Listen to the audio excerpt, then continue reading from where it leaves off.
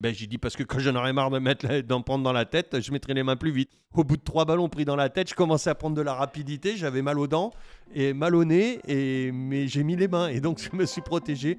J'ai repris la- de la vivacité gestuelle comme ça.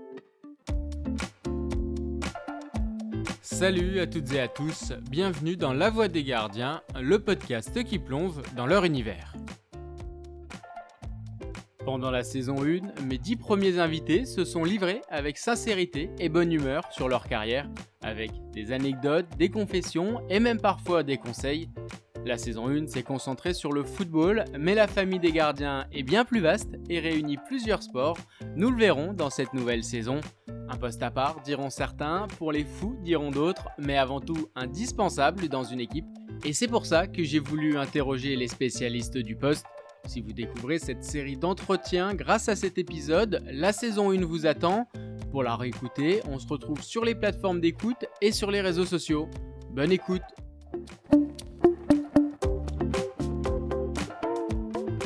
Retour au football pour ce deuxième épisode de la saison 2 de La Voix des Gardiens. C'est un champion du monde que je reçois, mais aussi un grand artisan des belles performances d'Auxerre dans les années 90. C'est aujourd'hui un consultant au franc-parler assumé dans la Dream Team d'RMC.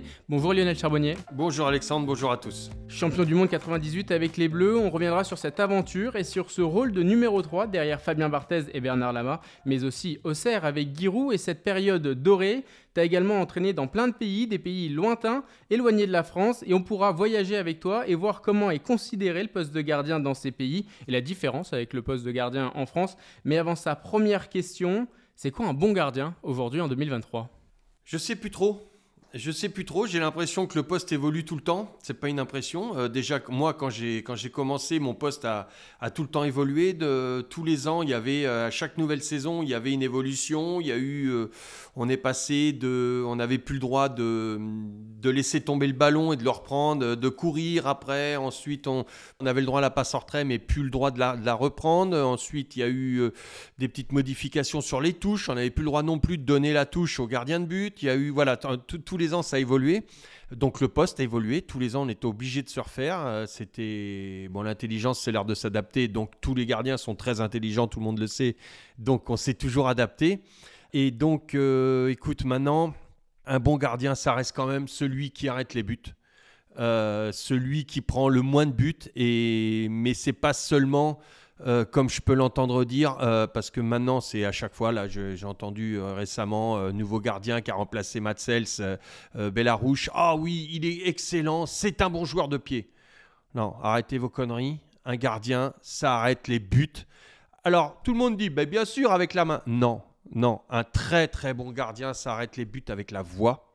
Tout simplement parce que le très très bon gardien est capable de placer ses joueurs en fonction de l'adversaire. Il est capable d'anticiper, de lire le jeu adverse, de savoir où sont les points forts et les points faibles euh, de l'équipe adverse et, aussi de son équipe, bien évidemment. Et donc euh, de manœuvrer par rapport à ça. Tu parlais des, des évolutions du poste de gardien euh, dans les années 90, c'était des évolutions parce que la règle évoluait. Euh, Oui. L'interdiction de prendre le ballon à la main. Exactement. Là, le poste de gardien évolue ces dernières années sans évolution. Si, il y a une évolution. Le poste de gardien évolue tout simplement parce que l'outil a évolué. Le, le ballon, qui est l'outil proprement dit, a évolué. Le ballon est plus léger, il y a des ballons flottants. Donc, euh, il y a eu bien évidemment une adaptation des gardiens et de la technique du gardien de but par rapport à ces ballons flottants.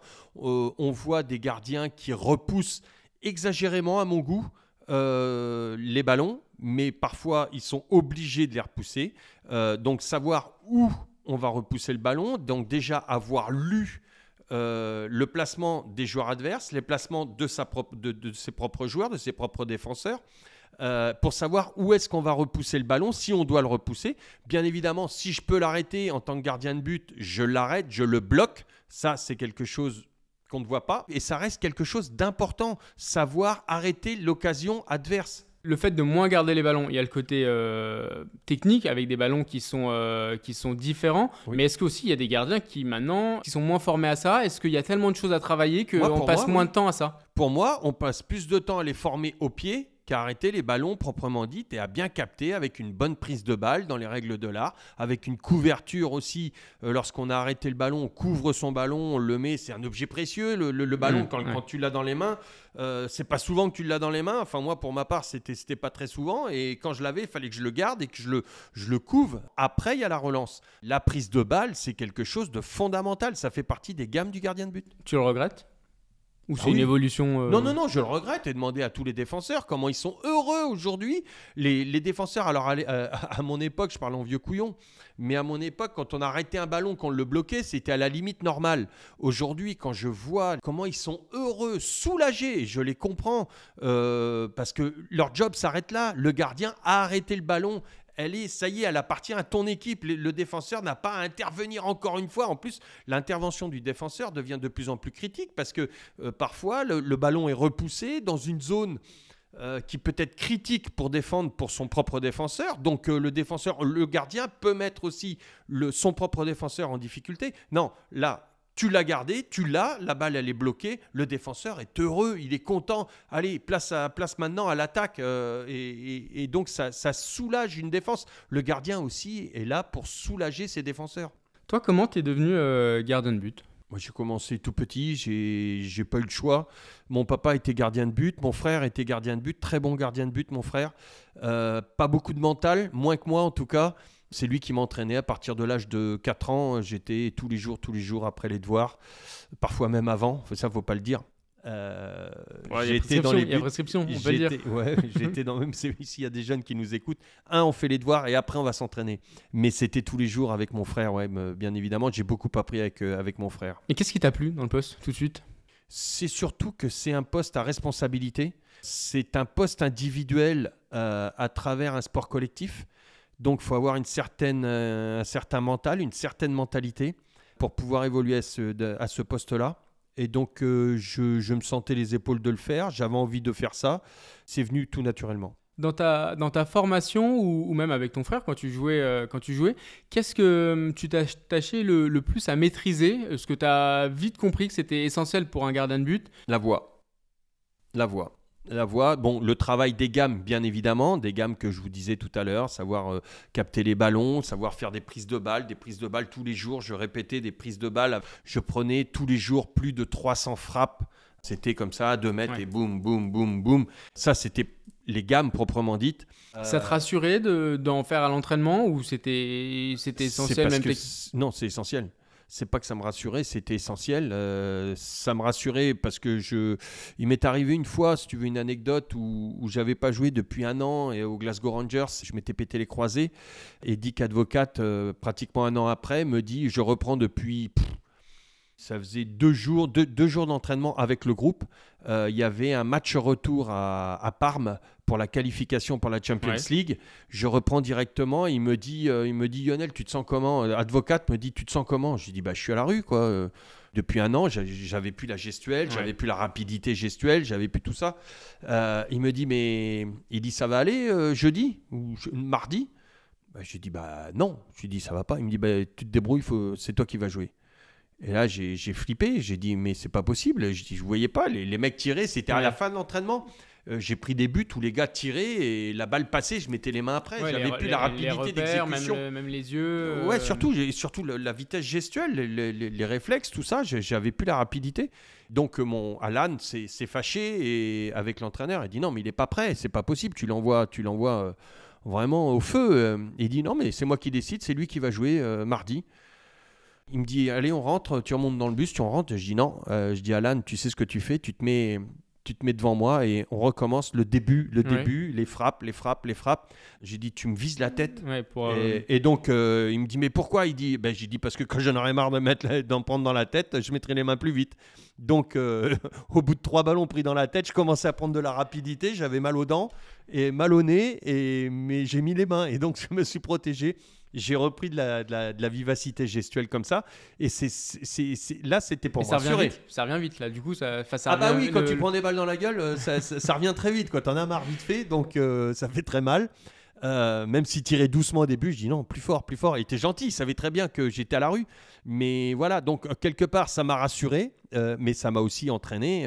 quand je les prenais plus dans la tête, ça voulait dire que je, les avais dans les mains. Et le match alors, comment ça s'est passé? Très bien. Déjà, les 40 premières minutes, on les a fait dans mes 16 mètres. Psychologiquement, c'était très compliqué avant le match. Je n'ai pas dormi de la nuit parce que je savais pas où j'allais. J'allais vraiment au feu. C'était un match très important. Bad Parme qui venait d'être champion d'Europe. C'était très compliqué. On avait gagné 2-0 à l'aller. Il y avait le match retour à faire. Euh, j'ai pas dormi de la nuit. Par contre, j'ai eu la chance d'être canardé dès la première minute.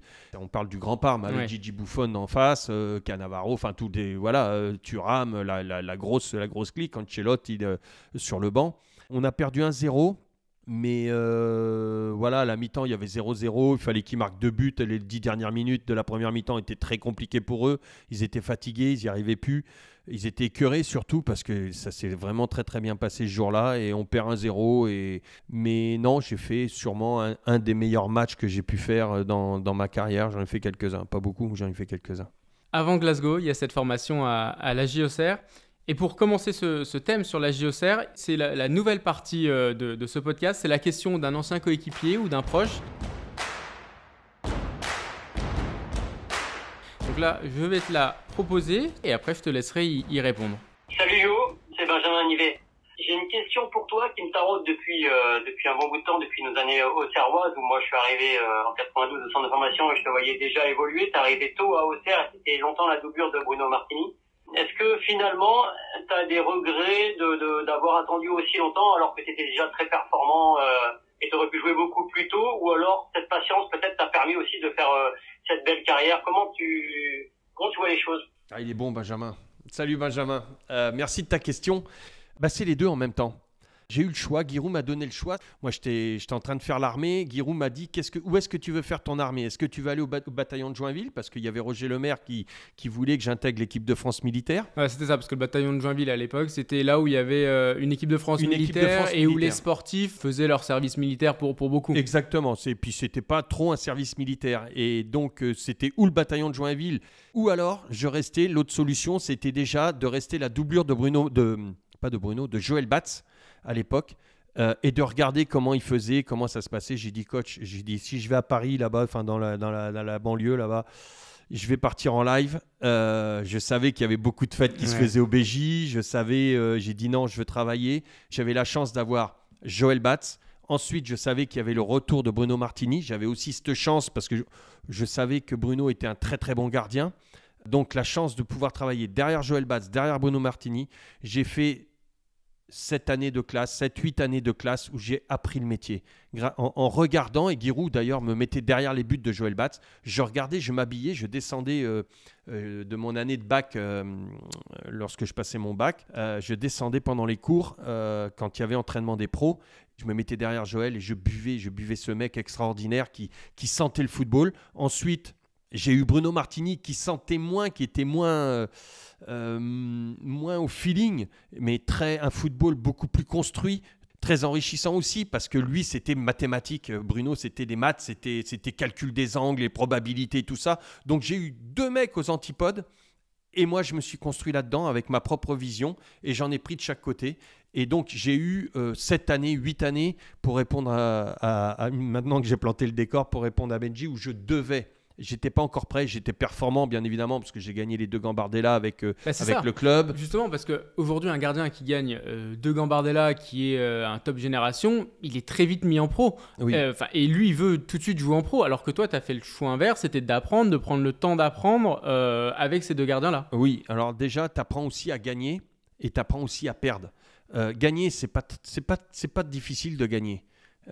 contrairement à ce qu'on dit, c'est le plus compliqué c'est de savoir perdre. Et c'est là où ça a été compliqué quand Bruno s'est blessé, qui est Bruno qui était sur le, toit du monde pratiquement, ou en tout cas le meilleur gardien d'Europe. Et je me retrouve euh, parachuté euh, numéro un. Euh, personne ne connaissait Charbonnier. Et au bout de quatre matchs, Gérard Rouillet m'appelle enfin, il appelle Giroud et il dit, il dit à Giroud, il dit, écoute Guy, j'ai confiance en toi. Il dit, tu sais, euh, il dit, euh, je ne sais pas comment faire. Bruno est blessé. Il y a Bernard Lama en numéro 1 maintenant, parce que Bernard Lama était numéro, numéro 2 de Bruno Martini, lui qui jouait euh, au PSG, Bernard. Donc Bernard se, retrouve numéro 1. Il dit, j'ai pas de numéro 2. Et Giroud lui dit, mais pourquoi tu m'appelles? Et j'étais dans le bureau, Giroud savait qu'il y avait l'appel de, de, Gérard Rouillet, parce qu'il l'a fait rappeler pour que je sois là et que je participe à la conversation. Mais Gérard ne savait pas que moi j'écoutais. Et donc, euh, il lui dit, bah, parce que j'ai besoin d'un bon gardien. Il dit, toi, tu as toujours eu des bons gardiens, tu as le bon feeling, qui tu me proposes? Et là-dessus, lui dit, euh, Giroud lui dit, mais est-ce que tu penses que derrière Bruno Martini, j'ai pris, le, j'ai pris la plus mauvaise doublure Il dit, la meilleure doublure, c'est moi qui l'ai, c'est Lionel, tu l'as vu, il évolue. Ça, se passait très bien avec, le, avec l'équipe euh, de, de la GIA. Et il lui dit, il lui dit bon bah ok, bah, il dit, tu lui dis de faire ses, de faire ses valises. Euh, il vient, il vient tout de suite en équipe de France. Je me suis retrouvé comme ça parachuté en équipe de France. Et là, ça a été compliqué parce que ça s'est bien passé. On a gagné la Coupe de France, donc on gagne le titre. Bruno revient et là, je redeviens numéro 2. Et donc j'étais, j'étais quand même, euh, je suis passé de l'inconnu à du gardien inconnu à doublure de Bernard Lama en équipe de France A. Et puis là, je redeviens, bon, allez, à la limite, le meilleur 19e du championnat, gardien du championnat. Mais je, je, retombe dans les oubliettes. Et là, c'était compliqué. Ça, répond à Benji. Là, c'était dur parce que euh, il a fallu beaucoup d'humilité, d'abnégation, continuer de travailler. Et j'ai passé un an où je ne comprenais pas pourquoi euh, Bruno, et sans avertissement, sans rien, euh, retrouvait sa place de numéro 1. Donc je, redevenais euh, un joueur lambda et je ne comprenais pas pourquoi. J'ai compris par la suite parce que le coach, mais le coach ne m'a jamais expliqué pourquoi. Donc là, ça a été une saison, voire deux saisons compliquées pour moi. Mais j'ai rien dit. Je savais que le travail paierait. Je me suis fâché avec Giroud. Hein. Euh, je commençais à péter un câble. Et puis, euh, mais je restais correct toujours vis-à-vis du groupe. J'ai fait preuve, je pense, d'une intelligence, encore une fois, pour s'adapter. C'était une situation compliquée à vivre. Euh, ces deux années-là, et notamment cette année-là, la dernière année était compliquée. Donc euh, à la fin de l'année, euh, j'étais en vacances avec ma femme, avec Anna, à Saint-Tropez à côté, et on a vu, je savais rien, on a vu que bah, justement à côté, à Montpellier, Bruno Martini, et ça c'était marqué sur le devant un bar, c'est comme ça que j'ai appris. Martini signe à Montpellier. Et j'ai dit waouh J'ai dit c'est quoi ça? J'ai dit regarde Anna, je suis allé acheter le journal, le seul journal que j'ai dû acheter de ma carrière. Et, et c'est comme ça que j'ai appris. Et donc euh, voilà, le travail finit toujours par payer. Et il suffit pas. Oui, on peut avoir des, des, des, excès de colère. Oui, ben, Benji, j'ai eu des excès de colère aussi dont tu as dû entendre parler quand j'ai cassé la porte du coach. Mais euh, voilà, euh, c'est resté tout le temps dans le vestiaire. Personne, si moi je ne le dis pas, personne ne l'a appris dans la presse. Aujourd'hui, ça serait plus compliqué. Il y avait des agissements avant qu'on pouvait avoir, des comportements qu'on pouvait avoir qu'on ne peut plus avoir et que je, n'aurais pas aujourd'hui à cause des, réseaux sociaux et tout ça. Et voilà, ça a été compliqué, surtout cette dernière année, mais voilà, bien m'en a pris parce qu'après, vous connaissez ma carrière. Giroud, il était euh, comment avec les gardiens? Aussi paternel qu'avec les joueurs ou, euh, ou avec les gardiens, c'était. Euh, non, pareil. Pareil. Il y avait des conseils sur sa. Non. Non, non, c'était, on se débrouillait tout seul, on se débrouillait entre nous. Il y a une entraide, il y a une, une, une, fratrie entre, entre gardiens de but. Joël Batz m'a donné énormément de, de, conseils. Bruno, pareil. Et donc là, quand, quand il, Giroud te met, c'est que tu es prêt. Sinon, il te met pas, c'est pas possible. Et c'était inconcevable. Donc, euh, il te dit rien, il te considère comme un joueur normal. je me souviens d'une fois, j'ai une phrase comme ça. Euh, parce qu'on faisait les cons avec, euh, avec Eric Cantona, avec, euh, avec Basile Boli. On est sortis parfois, on a fait des petites sorties nocturnes, jamais, jamais avant un match, toujours après. Euh, si on jouait pas tous les trois jours. Et on sortait tous ensemble. C'était pas un gars qui sortait comme ça, c'était toute l'équipe. C'était pour hein. l'esprit d'équipe. Ah oui, oui, non, c'était toute l'équipe qui sortait ensemble. C'était tout le centre de formation. Tu allais, euh, tu allais taper à, dans une chambre, euh, tout était vide. On était tous dehors. Donc, mais lui le savait, il savait qui y avait parce qu'il y avait plein de mouchards qui, qui racontaient, qui étaient contents de dire Ah, on a vu vos joueurs, on a vu Charbonnier, il était là, avec Cantona, avec Boli, ils étaient là, nanana. Et je me souviens d'une fois à l'entraînement. bien sûr, quand c'est comme ça, le lendemain, il te met des frappes. Hein il te fait pas de cadeau, il te met des frappes pour que tu apprennes le métier et tu prends, euh, tu prends à peu près 300 frappes de joueurs euh, euh, les uns à la suite des autres comme ça et puis c'est l'exercice le plus fatigant, tu connais ça, pour, le, pour le gardien. Parce que tu dois jouer le jeu sur chaque frappe et, ça, et ça enchaîne, tu n'as pas le temps de respirer. Et puis à la fin, bon, tu te couches, il arrive parfois que tu te couches un peu tôt, voilà, tu étais sur une frappe, le mec il vient devant toi, tu te couches un peu tôt, l'autre il la glisse comme ça, et puis là la réflexion de Giroud c'était, ben, bien sûr, il dit c'était hier soir qu'il fallait se coucher tôt, c'est pas maintenant. Donc voilà, c'est pour te dire le, un petit peu l'homme. L'année 96, vous faites le doublé Coupe Championnat il y a cette demi-finale euh, de Coupe de France au, Vélodrome contre euh, Jérôme Alonso, qui était un invité de la, première saison. J'ai revu cette séance de tir au but et euh, à l'époque, il y avait quelque chose qui avait intrigué Jean-Michel Larquet, c'était la façon que tu avais de, te concentrer entre les tirs au but quand Auxerre tirait. Tu te concentrais, tu étais loin du, point de pénalty. Oui, j'avais des mimiques. Beaucoup me disaient il est barjot, il est ici. Même chose qu'on dit à Raphaël Nadal. On dit la détoque en fin de compte, c'est pas des tocs. Raphaël, il sait complètement ce qu'il fait, où il fait, quand il le fait. Mettre la bouteille, la prendre, la remettre, la prendre, la remettre. Moi, j'avais, d'autres mimiques, j'avais pas de bouteille, j'avais, je marchais jamais sur les lignes blanches, jamais. Euh, je rentrais toujours du pied droit sur le, euh, en premier euh, sur le terrain. Je marchais jamais sur mon point de pénalty. j'étais un petit peu habité quelque part, tout simplement parce que c'était mes repères quand tu es dans une séance de tir au but, tu n'as aucun repère, tu ne maîtrises rien. C'est le joueur adverse qui a l'arme pour te démonter. Et donc, c'était des repères. Et je savais qu'à chaque fois, j'avais tout gagné euh, au tir au but.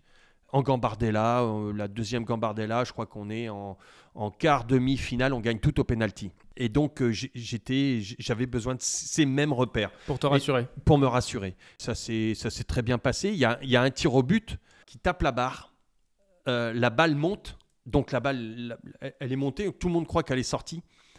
Et là, je m'en vais, je, pars comme ça, et je vois l'arbitre, je sens, je sens qu'il y a quelque chose qui va pas. C'est pas fini, l'action n'est pas finie. La balle, elle monte, elle monte, elle prend un, effet rétro, et la balle rebondit à ce moment-là. Je regarde l'arbitre et je vois qu'il est en train de siffler, mais pas trop. Je dis putain, qu'est-ce qui se passe? Je regarde et la balle est en train de revenir. Je cours vers mon but et la balle rentrait dans le but. Et là, j'ai repris la balle, heureusement. Donc elle n'était pas, ouais, pas encore elle sortie. Était encore en jeu, elle, était encore en jeu. Et avec l'effet rétro, elle rentrait. Et donc j'ai senti, j'ai eu cette. Euh, grâce à cette concentration, j'étais toujours dans mon truc.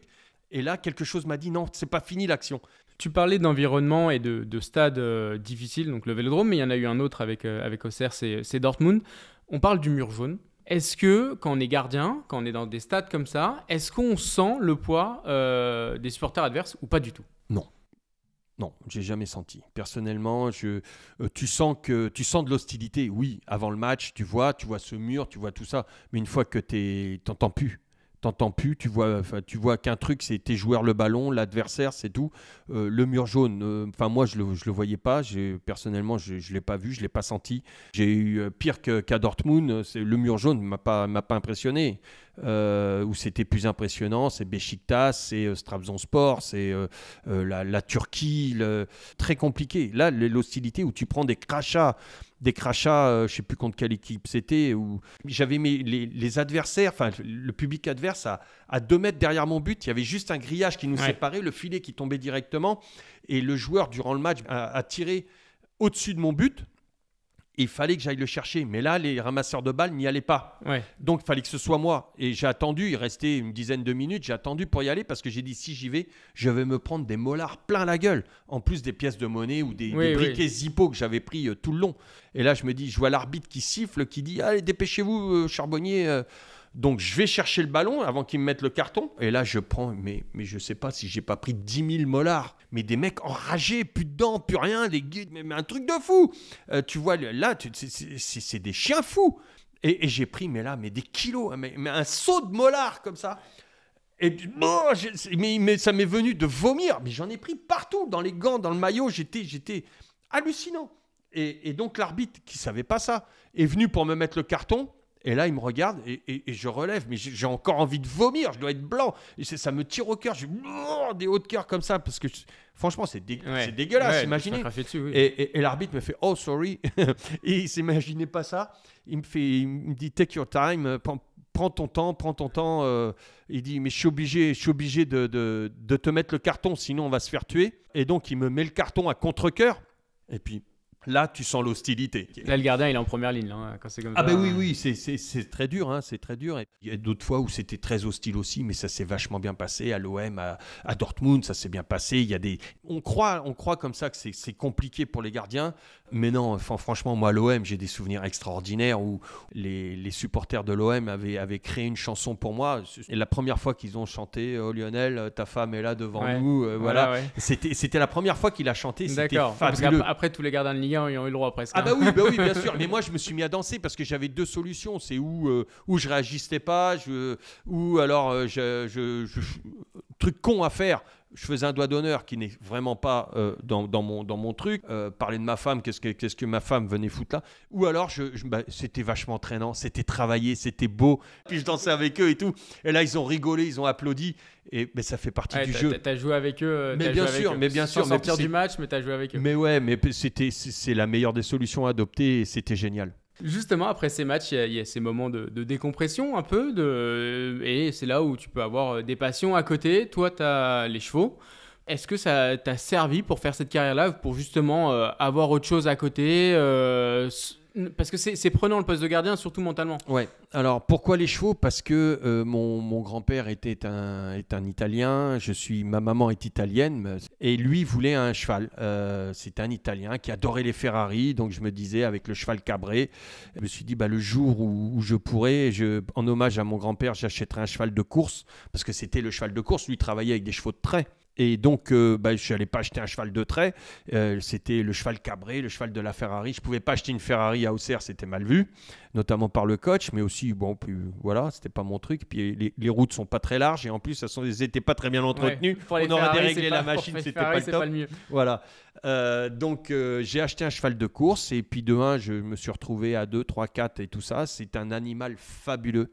C'est le sportif pour moi à l'état pur, à l'état brut. Un cheval, il va pas pour l'appât du gain. Il va pas battre ses congénères pour. euh, Pour, pour dire bah, je, vais, je vais gagner des primes de match, je vais m'acheter une Rolex, ou je n'ai pas encore vu un cheval avec une Rolex au sabot. Par contre, pour dire je suis meilleur que toi, je vais me dépouiller, je vais aller au-delà de mes limites et tout ça, oui, ça c'est la vérité. J'ai eu des, mes propres chevaux qui sont sortis des courses avec le sang. On, on parle à l'entraînement, tu as peut-être connu ça, l'entraînement où tu as le sang, le goût Ouais. du sang dans la bouche Ouais. tellement tu vas au-delà de tes limites. Ou, ou vomir des fois même. ouais, euh, voilà, ou même vomir. Mais là, c'était le goût du sang, avoir le goût du sang. J'ai compris ce que c'était. Je l'ai eu moi-même, le goût du sang dans la bouche. Et là, les chevaux, euh, j'ai eu une jument un jour qui est arrivée qui, qui avait du sang à travers les, les naseaux et tout ça, tout simplement parce que le cheval n'a pas de frein cardiaque et parce qu'il va au-delà de ses limites. Et elle est allée, cette jument, au-delà de ses limites, tout simplement pour montrer qu'elle était la meilleure. Ça, c'est le vrai sportif. Là, pas du gain, on s'en fout. Et moi, ça m'a servi, ça, parce que quelle dose d'humilité tu prends par un animal, toi en tant qu'humain, parce que tu, tu- on, sait, on connaît notre comportement, on veut donner des leçons à tout le monde. Non, mais la vraie leçon, elle est là. La vraie leçon du sportif, elle est là. Et Giroud l'a parfaitement compris. Au début, il m'a dit, mais non, c'est dangereux, tu vas prendre un coup de pied, tu prends un coup de pied, on est foutu, qu'est-ce qui se passe et tout. Dans les assurances, t'as pas le droit, t'as pas ci, t'as pas ça. Après, j'ai dit, venez voir, coach, venez voir. J'ai expliqué tout ça. Ouais. Et j'ai dit, j'ai besoin de ça. Et, et même le matin, il m'a autorisé, le matin, quand on était à Auxerre, il m'a autorisé à aller entraîner mes chevaux le matin, me lever avant les autres, aller entraîner mes chevaux, revenir pour le petit déjeuner. Et là, tu penses que cheval.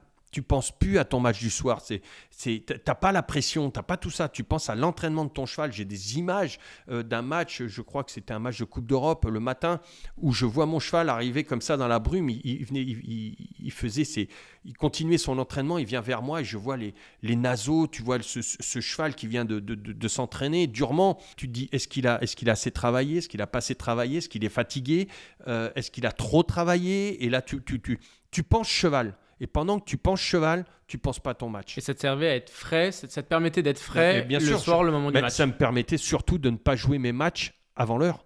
Parce que à trop refaire ton match, à trop penser à ton match, euh, tu passes à travers très souvent. En tout cas, moi, c'était ça. Et là, ça me permettait de, euh, bah, de relativiser aussi. Un, par le métier, parce que il y a des choses beaucoup plus dures dans la vie. Et, et ça me permettait aussi de, de- de penser à mes chevaux et pas penser à l'adversaire. Est-ce qu'on peut dire que tu as appris des chevaux quand tu disais euh, sur le côté sportif et tout? Est-ce que tu. Bien sûr, mais les gens ne comprennent pas.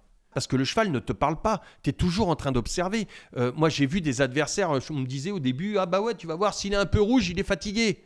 Bah, j'ai connu des mecs qui étaient rouges qui couraient tout le temps. Par contre, j'ai vu des mecs, malgré qu'ils soient rouges ou pas, ou même pas rouges, mais des fois, il n'arrivait plus à lever les genoux. Il arquait plus, il faisait plus rien. Bah, comme mon cheval qui est fatigué, il se raccourcit, il raccourcit sa foulée. Ça, je me le suis dit, mais là, ils vont dire, maintenant que je viens de le dire, bah oui, bah ça, on le savait. Non, non. Tu penses qu'une fois que tu as, vécu ça, il y a d'autres choses que d'être rouge, parce que ton cheval, il ne devient pas rouge. Donc, il faut bien trouver d'autres trucs. Il y a les yeux, il y a tout ça, il y a, il y a le comportement un peu abattu, la tête en bas, les machins. Les... Et ça, les, joueurs, l'humain, c'est exactement la même chose.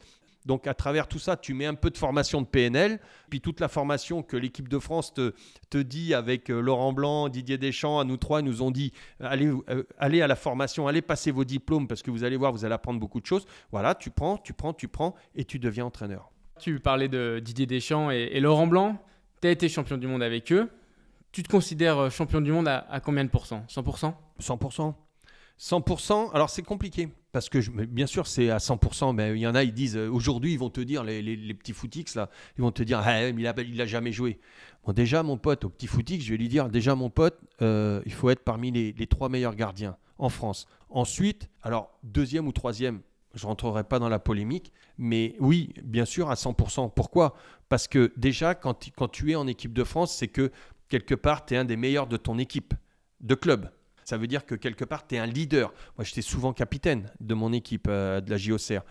Tu es un leader. Tu es un leader de vestiaire, tu es un leader technique, mais tu es, aussi un leader de vestiaire. Et tu arrives dans un vestiaire où les mecs sont aussi tous des leaders. Il faut que tu saches où te trouver, où te situer. Par rapport à ces leaders-là euh Il faut que tu sois leader, que tu restes que tu as été, sans être trop leader pour ne pas effacer les autres. Donc, il faut que tu trouves ta place de leader, moins que certains, et plus que d'autres. Savoir te situer, c'est pas facile. Justement, c'est ma question parce que tu es un compétiteur, tu joues en club, tu arrives en équipe de France, tu sais que tu vas pas jouer cette compétition-là. Comment tu le, tu le vis? Enfin, le côté compétiteur, il est en toi, il est. Euh, c'est compliqué, mais tu le sais. Tu le sais que le numéro un, incontesté, incontestable, c'est euh, c'est Fabien. Donc là, moi, je me mets dans la, dans la peau euh, du, du, mec qui doit mettre Fabien dans, dans, dans les meilleures conditions. Ensuite, quand tu es gardien remplaçant, tu joues pas. Donc, et, les remplaçants qui ont peu joué ou qui n'ont pas joué non plus, le lendemain, ils s'entraînent. Euh, ces joueurs-là, il faut qu'ils soient dans de bonnes conditions. Tu as aussi à gérer ton avançante, qui est titulaire mais qui n'est pas bien, Stéphane Guivarch. Et il te dit, yo, tu restes, il faut que, il faut que je prenne confiance. Et là, et là c'est compliqué, parce que tu lui arrêtes tous les buts. Et le mec, comment il va prendre confiance comment... Donc, il faut que tu joues le jeu parce que le mec, il fait une première frappe, tu l'arrêtes. Deuxième frappe, tu l'arrêtes. Et là, tu vois, tu dis putain, euh, il est vraiment pas en confiance. Mais il faut que je le mette en confiance. Sans que lui s'en aperçoive. Voilà, puisque tu peux pas le montrer. De, tu, vas pas lui montrer. Donc, euh, euh, il faut que tu joues un espèce de rôle. Parce que tu vois que tu es meilleur que lui, que tu peux le démonter en 3 secondes 12. Tu n'es qu'un remplaçant alors que lui, il est titulaire, qu'il est en train de perdre confiance. Il faut que toi, tu lui fasses comprendre que, en fin de compte, il est capable de te marquer des buts sans qu'il se rende compte que tu joues pas vraiment le jeu. Donc tu le fais, tu fais ton métier comme ça. C'est un métier, tu joues ton jeu. Tu dis, ah putain, bien joué Steph, bien joué Steph, ah bien joué machin, nana, super, ah bravo. Tu prends des buts, tu dis bravo à l'autre qui vient de t'en marquer alors que tu sais que tu pouvais l'arrêter. Et le pire dans tout ça, c'est le mec, euh, il termine la séance, tu es à table et il fait putain yo, euh, il dit j'ai mis la misère. Et là tu fermes ta gueule. Parce que tu as envie de dire, attends Coco, si je voulais, je t'arrêtais tout mais tu le dis pas parce que tu as envie que le mec. Et là, tu. Tu, penses au collectif. Euh, et ça, c'est dur. Je te promets, c'est difficile. C'est un état d'esprit. C'est très compliqué. Parce que le mec, tu n'as qu'une envie, c'est de lui dire Oh, euh, Coco, si je veux, je te mets minable. Et là, faut pas que tu le fasses. Et tu ravales ta fierté, tu ravales tout pour que ton, ton mec et ton équipe deviennent championnes du monde. Et eh ben, c'est comme ça. Oui, à 100%, je suis champion du monde. Ouais.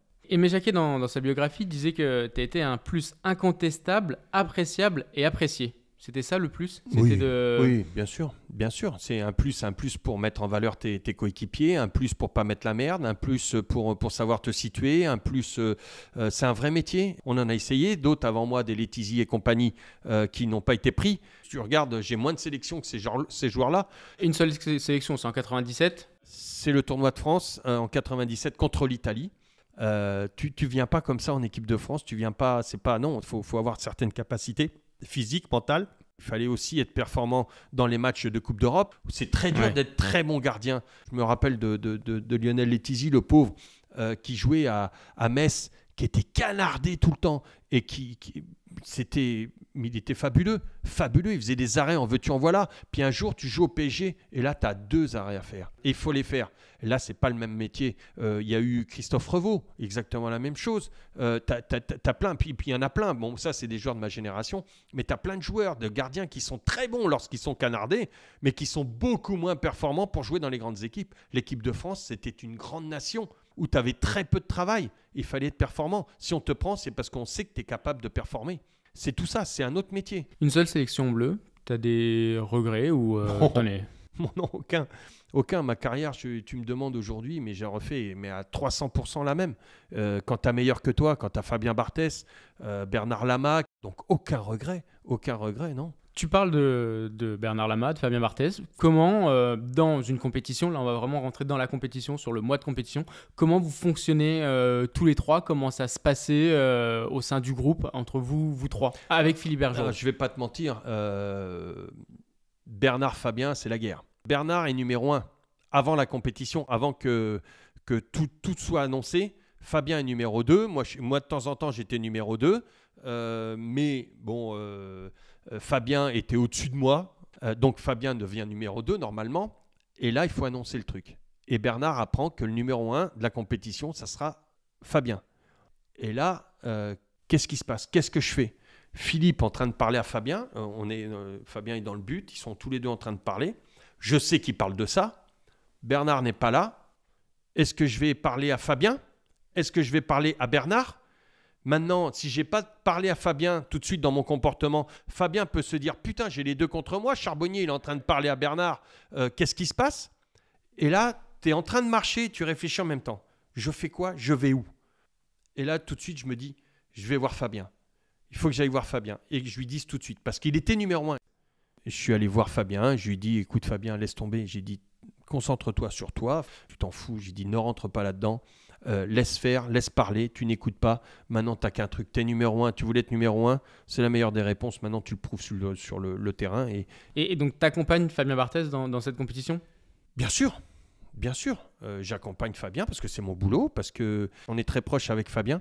Je suis là 300%. S'il y a le moindre souci, le moindre problème, un crampon dévissé, un machin, n'importe quoi qui pourrait le, le déstabiliser ou fallait que je sois là. Fabien sortait en avant-dernier et moi en dernier. Euh, enfin, en pénultième, Fabien. Le coach est à la porte, Aimé Jacquet est à la porte. Moi, je sors et le coach ferme la porte. C'est quoi la gigite? La gigite, ouais. C'est. Tu veux l'histoire complète? T'as le temps Oui, ou pas? Allez. L'histoire complète, c'est que, bah justement, on est à l'entraînement et, et, et Fabien et, et Philippe euh, sont très proches. Les deux sont du sud-ouest. Ils veulent un truc, c'est que Bernard et moi, et surtout moi, on, pose la question fatidique. Et à chaque fois, c'était. euh, Fabien disait, euh, quand, quand Philippe ratait une frappe, il disait oh, Putain, Philippe, t'as la gigite Il dit Oh ouais, quand Il dit Je crois que j'ai la gigite. Et puis euh, le coup d'après Ah, Fabien Il dit Fabienne, c'est toi qui as la gigite là, je te fais le pari que ah, t'as la gigite. L'autre, il fait Ouais, j'ai un peu la gigite. Et puis. Non, on sait pas. Enfin, moi, je sais pas ce que c'est que la gigite et je ferme ma gueule parce que ça sent, le- ça sent l'arnaque. Ça sent le traquenard. ouais. Ah ouais, ouais, j'ai dit là, hmm, faut que surtout tu la fermes dans ces temps-là. Et la gigite, et la gigite, et la gigite. Et puis, euh, on arrive à la, à la séance de tir au but. Quart de finale contre l'Italie. Ouais. Et là, il y a Fabien qui vient. Il me fait Oh yo Il s'assied comme ça. Euh, donc je te passe euh, Philippe Bergerot qui avait, qui avait euh, marqué tous les pénalties ratés par, par les Italiens. Il me dit, il est juste à côté de moi, il me fait putain yo, il me dit regarde, il dit je vais lui donner le papier, il va m'envoyer chier. Ni une ni deux. Il lui, tend le papier, l'autre, il dit ah, me casse pas les couilles avec ton papier là, il dit laisse-moi faire. Et puis il s'assoit comme ça, donc Philippe s'en va. Euh, Fabien va s'asseoir à côté de moi, il me fait putain yo, je crois que c'est moi qui ai la gigite. Et là, j'ai dit mais c'est quoi la gigite? Et il fait oh du corps, c'est les poils du cul qui s'agitent. Et là-. Et là, t'es euh, juste avant de, de, de- de tirer les, les, les pénalties. J'ai dit mais putain, c'est quoi ces mecs? Hal- Hallucinant Le, quoi. le con- le contexte, il t'avait eu parce que le fait d'être euh, au Stade de France, d'être concentré sur le Non. match, là par contre, il Non, pense. il m'a pas eu. Je savais, je savais qu'il avait besoin d'évacuer. Il avait besoin de tout ça. Je sais pertinemment qu'il va me dire et qu'il est content. Mais je le fais sortir du contexte, de la concentration, de la pression pour dire Oh putain, là il va voir Philippe. Ah Philippe, oh putain, gigite. hein, le- mais, mais moi je le sais. Je sais qu'il a besoin de, de, m'avoir et de sortir du contexte. Oh putain, c'est les poils du cul qui s'agitent. Pendant qu'il pense au poil du cul qui s'agite, il n'est pas en train de penser au penalty. Pas d'avoir peur, mais de, de faire la séance Exactement, avant. tu et- fais pas la séance avant, ce que je te disais tout à l'heure. Et là, il, il avait besoin de ça, Fabien, il avait besoin de tout ça. Et donc après, il y a la finale au Stade de France. Ouais. Sur le chemin, tous les champions du monde, des interviews que j'ai vues, tout le monde parle du trajet. dans la mesure où tu sais que tu joues pas, est-ce que tu en profites plus ou tu es déjà dans ton match? Ah non, non, non, non. Tu es tout le temps dans ton match. déjà, euh, deuxième ou troisième, on ne savait pas qui était deuxième ou troisième gardien. On ne savait pas. C'est pas nous qui avons écrit la feuille de match. Donc tu te prépares comme si tu allais rentrer, quoi qu'il arrive. Mais personne ne jouait contre, contre le Brésil. Là, on jouait tous pour la France. Parce que, et tout le monde, tous les joueurs disent ce soir, c'est pour nous, c'est pour nous. Et on prend des doses de, d'adrénaline, des doses d'amour, des doses de, de, bien-être de ces gens-là et on se dit on n'a pas le droit de les décevoir, on n'a pas le droit de les décevoir. Au fur et à mesure des mètres, des centaines de mètres et des kilomètres, on a pris des doses de gagne, des doses de gagne, des doses de gagne. On est arrivé dans le vestiaire et on est sorti du, dans le couloir en n'ayant que la gagne. Que la gagne. Nous, il n'y avait que ça. Il n'y avait même plus d'adversaire.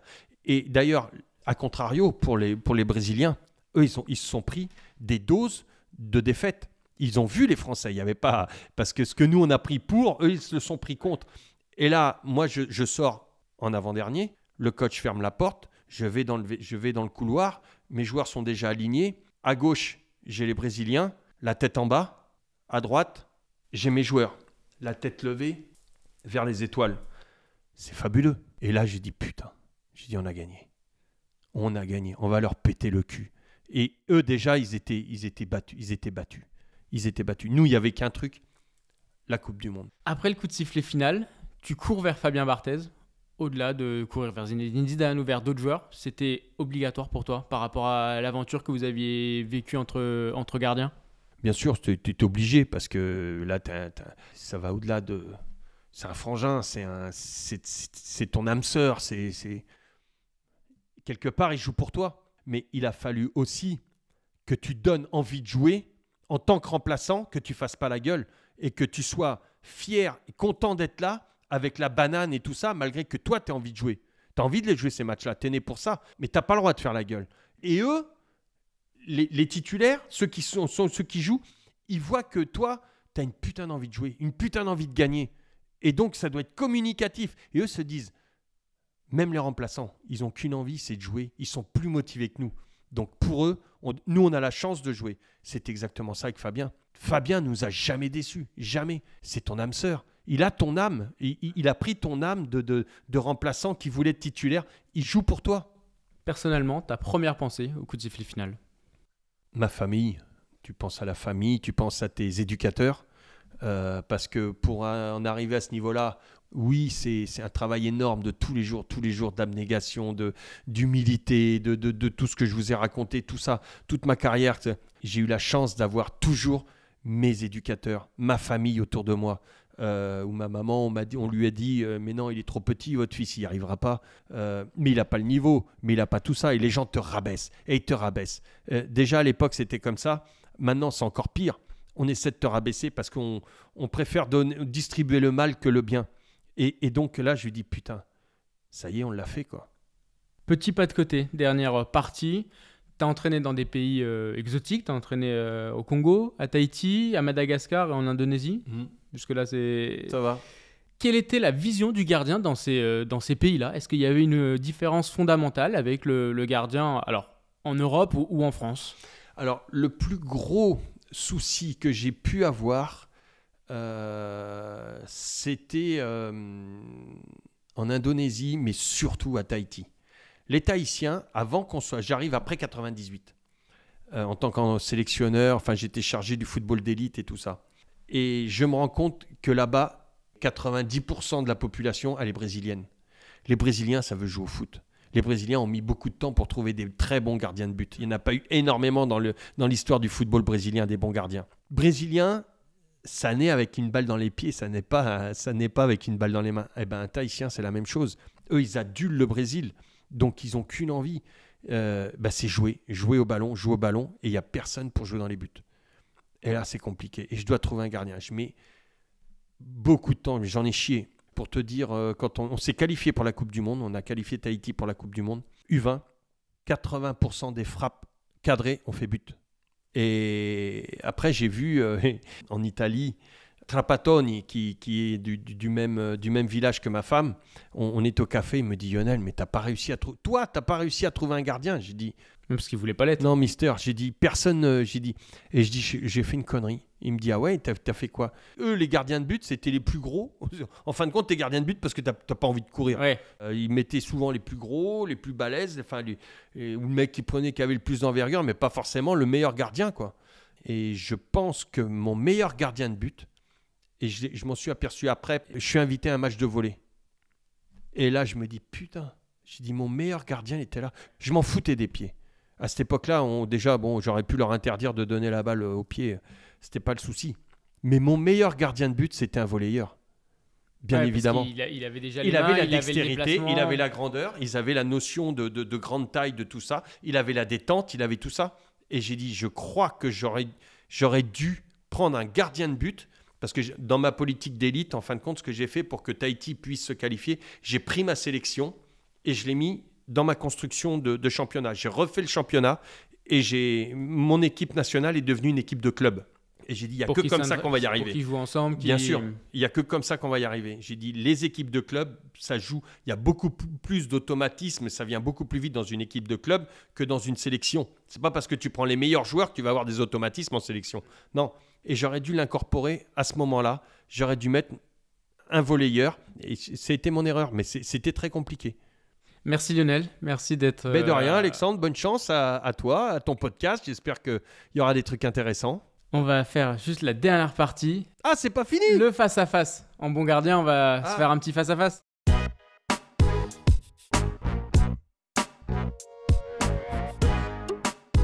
Une question, une réponse. Ton plus bel arrêt. Euh, allez, pour les Rangers, pas parce qu'il est beau, mais parce que j'ai une tête à bout portant euh, contre, euh, contre le Celtic. Ce jour-là, on fait 0-0. C'est une tête à bout portant de Larson. Et, là-dessus, je, à 2 mètres, et, j'arrête la balle. Et c'est, en tout cas, je pense que c'est un des arrêts qui a donné euh, le plus de joie à autant de personnes en si peu de temps. Le match où tu t'es senti le plus fort? En Coupe d'Europe, ça m'est souvent arrivé. Euh, contre Parme, peut-être, parce que c'était. J'étais faible dans ma tête la veille au soir, toute la nuit. J'étais très faible. Sur le match, j'étais très costaud parce qu'ils ont tiré de tous les côtés, peut-être contre Parme. Tu sais, des fois, c'est pas. Là, je suis en train de te donner des matchs où j'ai été canardé. C'est pas les matchs les plus compliqués. Euh, mais des matchs où j'ai eu très peu d'arrêts. Ceux-là sont très durs. Moi, je dirais peut-être Dortmund. Dortmund euh, avant, la, avant la, la séance de tir au but. Ta charnière préférée Laurent Blanc avec, euh, bah, ça dépendait. J'avais William Prunier, j'avais euh, Verlat Prunier, j'avais euh, euh, Laurent Blanc avec Franck Sylvestre. Ça, c'était du costaud aussi, c'était du lourd. J'ai eu Taribo West. Putain, j'en ai eu des belles charnières. Voilà. C'est difficile, mais celle avec les deux, avec Franck Verlat et Laurent Blanc, elles étaient extraordinaires ces charnières-là. L'attaquant le plus coriace. À celui qui m'a emmerdé tout le temps, que j'ai, mais j'avais horreur de ce mec-là, qui est un formidable joueur, c'est Chapuisat. Ce qui te fascine chez les gardiens? C'est ce détachement, c'est la mentalité du gardien, la mentalité à part. C'est un joueur euh, à part. Le geste que tu préfères? Tirer un 6 mètres parce que c'est de bonne augure, ça veut dire que Le ballon, il est loin. le, le ballon, tu peux le mettre loin. Le doublé avec Auxerre en 96, en tant que titulaire, ou champion du monde en 98 sans jouer? Le doublé. L'entraîneur qui comprenait le plus le poste de gardien. Dominique Cuperli. Pourquoi? Parce que c'était un joueur, c'était un joueur de champ. C'était pas un gardien de but, Dominique. C'était un joueur de champ qui est un milieu de terrain, qui était un grand ami de Joël Batz et qui a connu le poste de gardien de but à travers Joël Batz. Et Dominique, il connaissait mais le métier parfaitement alors que c'était un milieu de terrain. Le jeune gardien que tu observes le plus précisément aujourd'hui? Chevalier. Le meilleur gardien du monde. Cite-moi un, toi. Je te dirai si je suis d'accord. Moi, je dirais Courtois. Ah L'année dernière. L'année dernière, cette année, non. Euh, J'irai plus du côté de l'Angleterre. Ah, quoique, on en a un qui est. Mais en ce moment, allez, je vais rester franco-français. Maignan. Maignan. Mike Maignan. euh, en ce moment, il est un peu en difficulté, mais Mike, euh, il est extraordinaire. Le conseil que tu donnerais au Lionel Charbonnier né à Poitiers? T'as vu ce que t'as fait? Recommence-le. Merci Lionel. Cette Merci fois, c'est la fin de cet entretien. Merci d'être revenu sur ta carrière de d'Auxerre à, C'était un plaisir. à ce titre de champion du monde. Merci. Merci à toi, Alexandre. Plein de bonnes choses.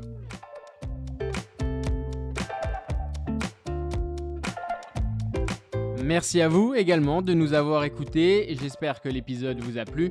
Si c'est le cas, je vous laisse également découvrir les 10 premiers invités de la saison 1. Et puis n'hésitez pas à parler du podcast autour de vous, à vos coéquipiers, à vos amis pour l'encourager et lui donner un maximum de visibilité, mais aussi à le partager sur les réseaux sociaux, le noter, le commenter sur les plateformes d'écoute. C'est important pour que la voix des gardiens résonne encore plus et qu'un maximum de passionnés plongent avec nous dans l'aventure.